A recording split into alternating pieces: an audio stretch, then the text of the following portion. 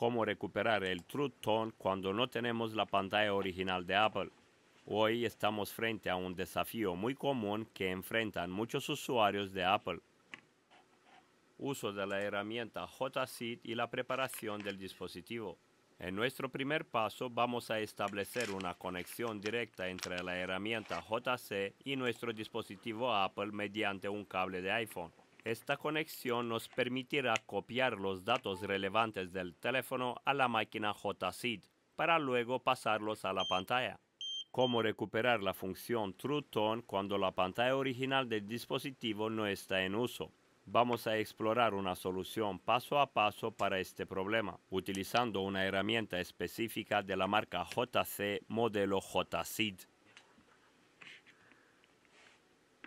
Después de asegurarnos que todos los datos se han copiado con éxito, apagamos el dispositivo móvil y procedemos a retirar con cuidado la pantalla existente.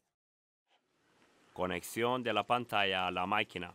En esta etapa es crucial conectar el flex de la pantalla directamente a la máquina JSeed.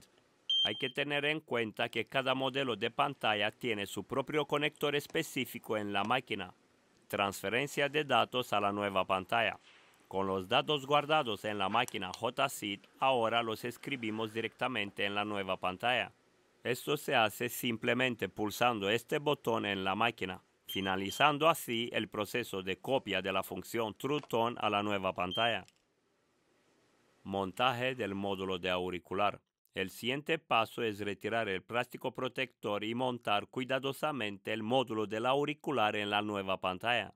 Por cierto, esta herramienta JC tiene muchas más funciones de las que planeo hablar en futuros vídeos. Intentaré incluir un enlace para comprarla en la descripción del vídeo.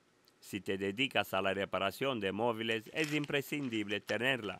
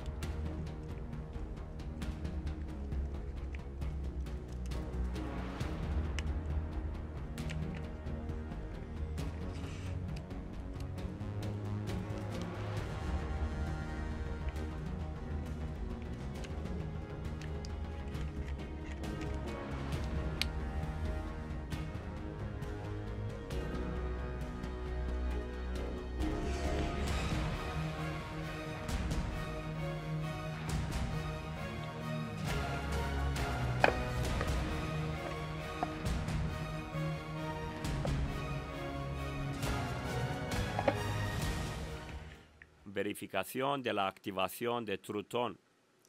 Ahora encendemos el móvil y podemos constatar que la función TrueTone ya está activa en la nueva pantalla. Yo soy Leonardo y esto fue todo por el vídeo de hoy. Espero que esta solución paso a paso te sea útil y te ayude a superar los desafíos asociados con la recuperación de la función TrueTone en dispositivos Apple con pantallas no originales.